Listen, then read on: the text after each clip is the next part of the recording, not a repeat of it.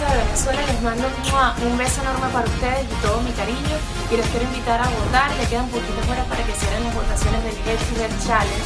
Recuerden que hay tres maneras de votar. Una es por la página web www.missworld.com buscan Venezuela y ahí votan diariamente. La otra es que cada seguidor que aumente mi cuenta oficial de Miss World Venezuela en Facebook cuenta como un voto también.